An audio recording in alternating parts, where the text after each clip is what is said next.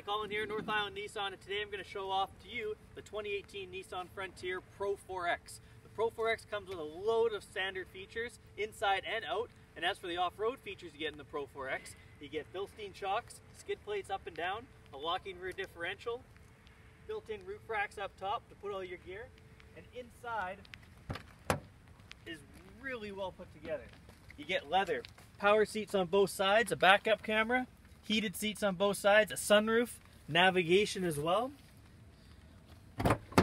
and loads of room for you and four friends or family.